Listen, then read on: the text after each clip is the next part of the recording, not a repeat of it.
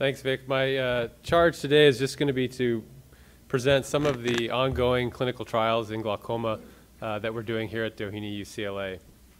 And uh, here's my uh, disclosures, which are related to the trials that we're doing. So we're going to be talking about four different areas. The first is anterior segment OCT. Uh, the second is posterior segment OCT and novel glaucoma metrics. Uh, and then electrophysiology and glaucoma, and finally ending up with uh, a surgical trial. So anterior segment OCT, as you're all aware, has excellent resolution of the anterior segment, very easy to use and quick compared to high frequency ultrasound or UBM, and so it's really gained uh, widespread use. And uh, our group at Doheny was one of the first to kind of describe the angle, uh, the angle parameters that were first described with UBM and translate those over to, uh, to OCT. And this shows you some of those angle parameters, including angle opening distance uh, and the TISA, and, and, and these are all shown there. Now, with the resolution increase in SD-OCT versus time domain OCT, uh, you can see the images change. And the, the areas that you're able to see, you have much better quality imaging of the angle, but you lose some of the peripheral uh, the iris insertion and the kind of the deep angle recess that you're able to see a little bit better in time domain OCT. With this change in technology, actually uh, Vic Chopra and the group, our group at the Doheny Image Reading Center has developed novel uh, ways to describe and identify angle structures. So instead of based on posterior uh, angle structures such as scleral spur, we're identifying Schwalbe's line, which you can see in almost every patient with this type of anterior segment OCT. You can see the ending of the corneal endothelium into Schwalbe's line, and we're describing the, the angle metrics based on relationship to Schwalbe's line rather than scleral spur. And so this was really uh, pioneered by the DIRC group and, and Vic Chopra in particular. So here you can see that in, in our study, 94% of patients, you could clearly identify Schwalbe's line and look at those angle metrics. And these are the angle metrics we're talking about. Uh, you can have now a Schwalbe's line-based TISA instead of a scleral spur-based TISA. And it really, I think, is a better measurement of the actual filtration zone rather than just assuming a certain measurement you know, anterior to scleral spur. You're actually looking at where the TM starts, which is in Schwalbe's line, and measuring posteriorly to scleral spur. So here you can see the, the rotating image of a, of a 3D uh, assessment of the anterior chamber. This is a patient with iris bombe and, and posterior synechiae. And we, we looked at this uh, technology in evaluating patients with ocular trauma, trying to, to plan surgical techniques in these patients. And this is one such patient who you can clearly see has uh, uh, PAS over here, has iridodialysis in certain areas. Um, and you're able to take you know, cross sections through, through various slices of the eye, but you're also able to do the 360 3D image, which you see here. And what you can see and, and appreciate is here's the PAS, here is the iris defect, but you can see an occult cyclodialysis cleft, which we couldn't really appreciate on regular imaging or on clinical exam. So it helped us plan surgically, you know, how to treat this patient uh, when we eventually got them to the operating room. So this is just a, a, a short list of, of the recent publications uh, through DIRC on anterior segment OCT glaucoma. And you can see this, this is just in the past uh, one to two years. So really a, a a wealth of information that, that uh, Vic and, and Voss and the group at DIRC have put together. What about posterior segment OCT? So this is a paper that's not published yet but is in, uh, in press. And uh, this is a paper that looked at lamina cribrosa density and glaucoma and the ability to differentiate uh, normals from glaucoma suspects from mild to moderate glaucoma. And it's looking at this area right here the lamina cribrosa. And you're comparing, you're, what you're doing is you're, you're using uh, the reference of vitreous being zero in terms of density and 100% of the RPE, and this falls somewhere in between, and you can grade that and compare it uh, in different patients. And what we found was not only are you able to differentiate normals from glaucomas, which you know is, is good, but we can also differentiate glaucoma suspects from mild to moderate glaucoma. Not severe glaucoma, but mild to moderate glaucoma. So this may be another parameter that we can use to identify and help us identify early glaucoma. OCT angiography. Uh, Dr. Parrish said he's sick about hearing about OCTA, but here's one more thing. We actually sent this paper to AJO, so you'll be seeing it. Uh, the, OCT angiography, I'm sure you meant you're only tired of hearing it in terms of retina, but this is glaucoma.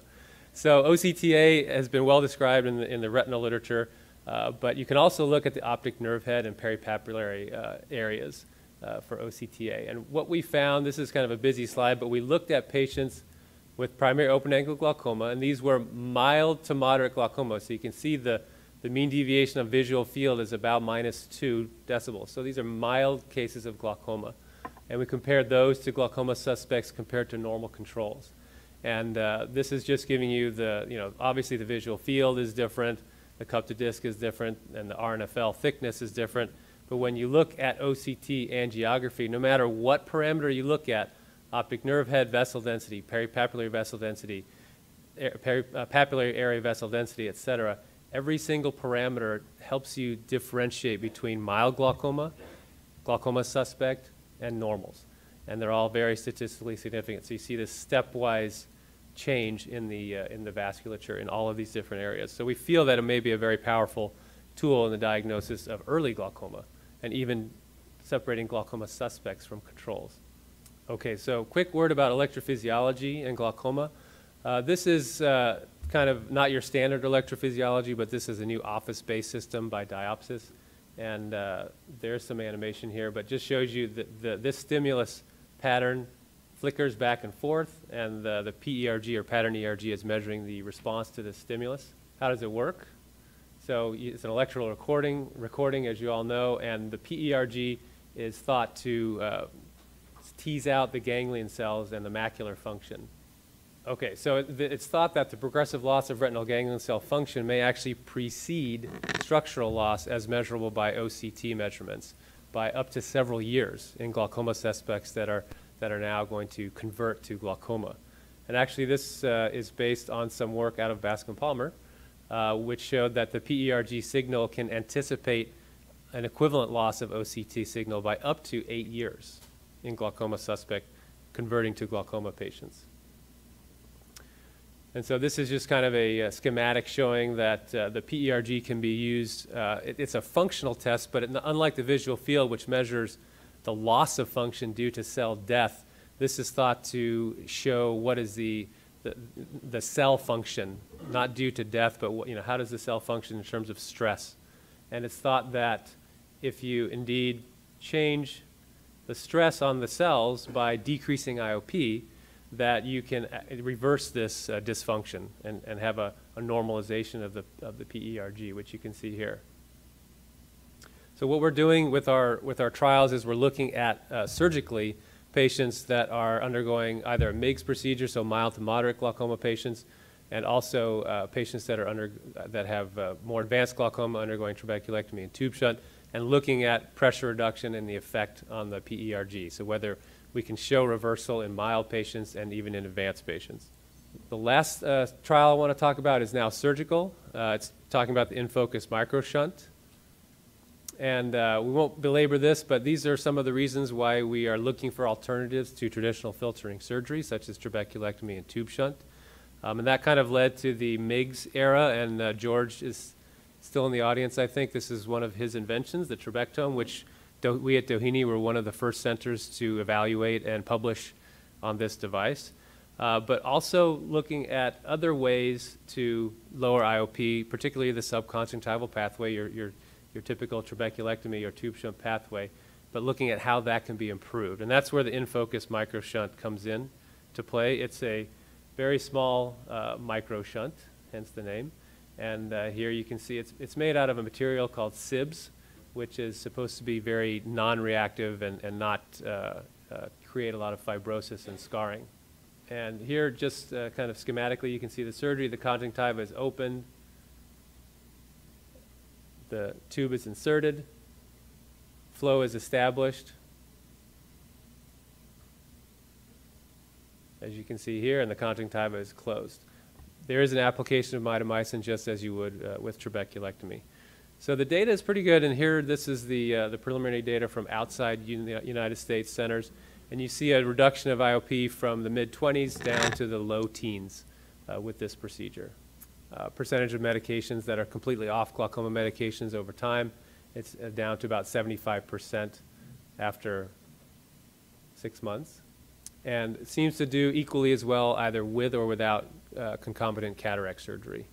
Adverse events are listed here, similar to what you may see with trabeculectomy, but we think maybe lower. So how are we involved? We're involved with the, uh, the phase three clinical trial. Uh, There's been two phases. The first uh, phase, which was 75 patients, has already been completed, and now there's an an expanded trial of 400 patients who are one of the clinical trial centers, both at Doheny and at Stein. And uh, basically, it's a randomized trial with trabeculectomy being the gold standard. Uh, The randomization is three to one, so uh, 75% chance of InnFocus, 25% chance of trabeculectomy. Okay, thank you.